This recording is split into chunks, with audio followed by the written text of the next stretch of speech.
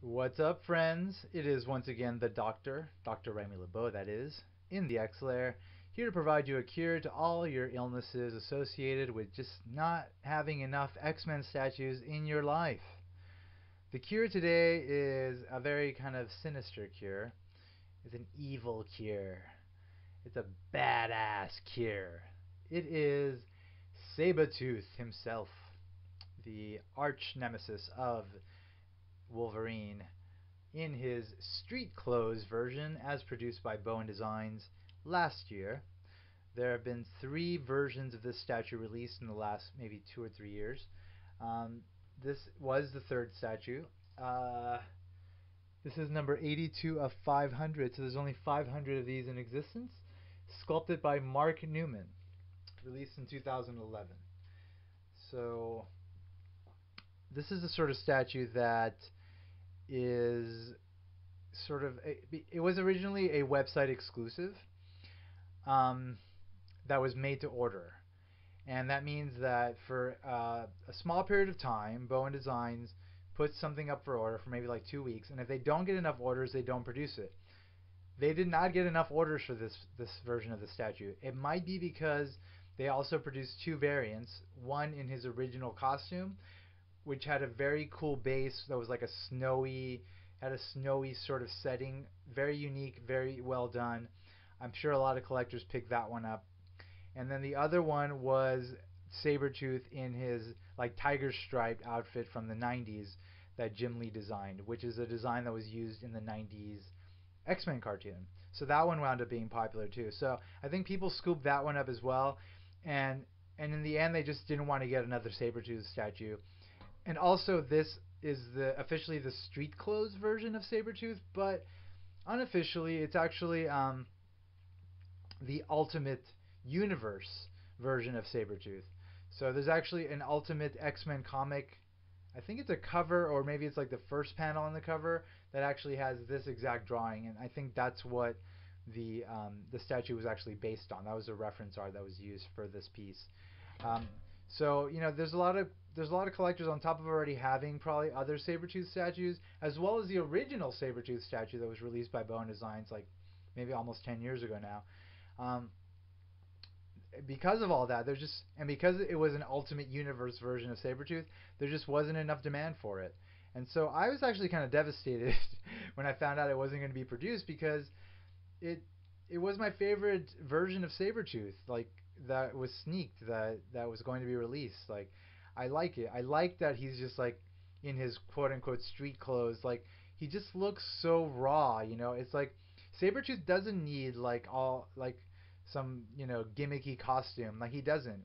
He's just a terrifying villain because that's who he is. That's who the character is. So you can throw him in some army pants and a and a and a wife beater and he's going to be as menacing as he is, you know, with his super elaborate kind of tiger striped or or like a fuzzy outfit, you know. It's you don't need all the bells and whistles. That's why for for some reason this one stood out most for me as as having the the most interesting qualities and and um, and the one that I chose to have. Fortunately, after finding out that it wasn't going to be released, it turned out it was like Bowen Designs made a deal with Diamond Distributors, which is sort of the company that distributes merchandise to comic book shops, um, to release it exclusively through them. So fortunately, it did wind up being produced, but I had to find a retailer that was going to sell um, this statue. Um, was going to get it through Diamond Distributors. I don't have a local. I don't have a comic book shop close to me, so I had to find one online. Fortunately, I was able to find one everything worked out. As you can see, I, I got this beautiful statue and I couldn't be happier with it. If you check out my blog post, I took a lot of close-up shots of it because there's so much great detail um, in this statue. There was so much attention put into that detail. Um, I, that's why for some, that's why I feel like it's better than the other two versions. Like even though those are sort of more classic versions of the character, like I feel that as a statue, like this is this trumps the other ones as far as like impressive qualities. So just starting with the base itself is just super cool. It's actually the same base that the the tiger stripe version of Sabretooth uh, statue, the Sabretooth statue has. Um, but this one they decided to put like some mossy, like some moss on it, and it just looks great, man. It, I think it really complements this version of the statue well because he's got like green army pants. So it's great that they even went that step further. They could have just had the exact same base on all three of them, but they didn't do that. They chose to make each one unique. Um, so that is just just that is great, and the and the actual base like with the pillars, it's just so it's it's so it's crafted so well. You know, it just it looks like such a great natural environment where you would find like this fierce sort of raw like ravenous killer in. You know, Sabretooth is a badass. You know, and he's always kind of like out in the wilderness like hunting. You know, not necessarily for prey to eat, but like just to take people down because he's a, that's just the kind of guy he is. He's a terrible, terrible um, individual. Um, and of course, the the detail, the attention to detail doesn't start doesn't stop with the base. Like just the army boots themselves, beautifully crafted. The pants, fantastic. The you've got like the straps all along the pants.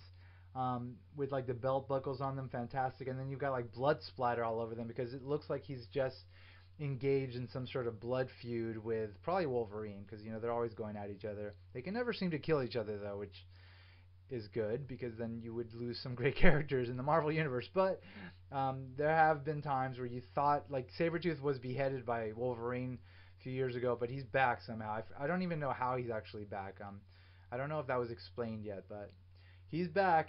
He's back in action.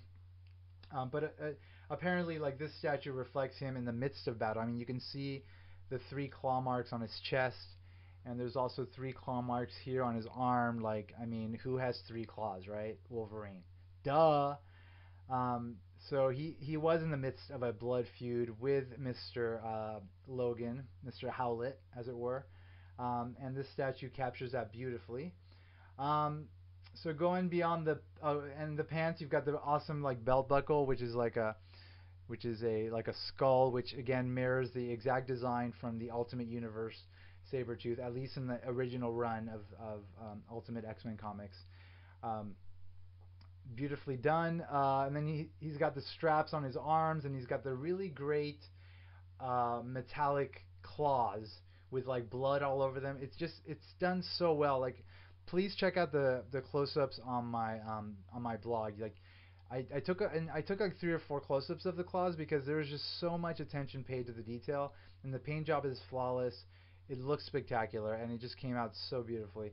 Um, and then, of course, his actual musculature, you can see it so well crafted on the arms. Like it's veiny, it's like it's like super cut and like you know very like um, massive because that's that's how Sabretooth is. You know, he's just like this massive beast killing machine. You know, and uh, and so the actual body reflects that really well and then you've got this really cool like wife beater that's kind of like ripped up and like and like and it's all like wrinkly in the right places and and just like um and just dirty and a little bloody and kind of there's here's another rip up here and there's like a rip along his uh, neckline there was so much attention put into um, every aspect of this design which again adds to the impressive quality of this overall piece it's just a great piece um, and then of course you've got the face, which is just terrifying. Like he's just like pissed, and he's got the whited out eyes, and he's ready to kill, and he's like baring his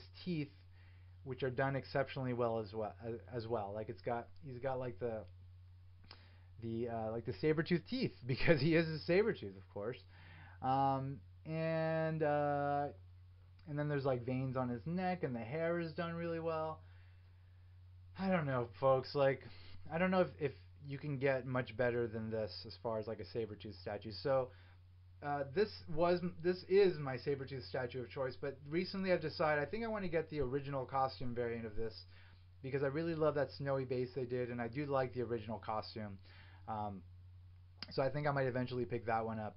Uh, but basically, all four Sabretooth statues created by Bowen Designs are great. All of them, they're all great. Like they, a lot of attention to detail was put into all of them. A lot of qua- they're all produced um, in the in the highest quality that possible, which is what you expect from you know this sort of caliber uh, merchandise for you know one of your favorite characters. Um, so i whatever Sabretooth statue you might choose to get, if you only choose to get one, if you choose to get one at all, um, they're all going to work for you. Uh, if you're if you're a fan of the Ultimate Universe or just a fan of very unique and well-crafted statues, this is definitely the Sabretooth statue to get. Um, if you're if you have to choose one, I, I recommend it highly, and, and it's definitely my choice, and that's why it's the only Sabretooth statue I currently have. Um, of course, that will change at some point in the near future. Um, uh, Sideshow Collectibles actually did a premium format figure Sabretooth, which is actually very cool as well. The only problem with that is that it has a uh, fabric costume, which kind of looks like pajamas. It's unfortunate. I don't like that look. Some people do, but I, I did buy that statue and then I wound up getting rid of it um, because it just I kind of felt like it um, just it like kind of it looked kind of silly and it was also going to be difficult to kind of keep clean. If you don't have a glass case for those statues that have sort of those fabric costumes, like they're going to wind up uh, I think wearing down pretty pretty quickly. So it's just not a good idea if you're not planning on putting them in a glass case that's airtight. Um, but beyond that, the, the, design of that statue is fantastic, and I've actually seen people uh, take that statue that that uh, Sideshow Collectibles created and remove the fabric and just kind of paint this, the actual sculpt below it, which is which is an, an appropriately sculpted um, uh, physique, which uh, looks great. It, it wound up looking great. Um, so if if if you want a one quarter scale statue of Sabretooth, that's actually a way to go, is to get that statue. And you don't like the fabric, just get it off, find a customizer, have them um, strip strip off that the fabric, and then kind of like uh, paint in the the actual uh, the rest of the body. Um, I, it, it, came out really nicely. Um, but there are, you know, like three versions of that. Then that's the Tiger Stripe version of the costume, the 90s X-Men Jim Lee version. So if again, if you're not interested in that particular version, there is an original costume version of this statue, but this is definitely the statue to get if you're just looking to get a really cool Sabretooth statue. He's menacing and he's beautiful. He just beautiful as far as like just a great sculpt, like just beautifully done, just fantastic. And he's got this kind of elevated base as well. And I don't know, there's a lot of I mean, it's like a terrifying sort of piece. It captures like him in a very menacing way and and some people have actually commented online that they don't want to get him because he actually scares them. um, but beyond that, it's just it's a really elegant piece, and it's funny that you have like this elevated base that just kind of puts it in, in kind of elevates it and and and uh, and sort of has that elegant touch to it, given that it's such a terrifying character. It's a, it's a nice contrast, is what is the point I was trying to make there. Uh, it's a beautiful contrast. Again, super great aesthetic um, overall effect um, from every aspect of the statue, and I highly recommend it. There are some still out there.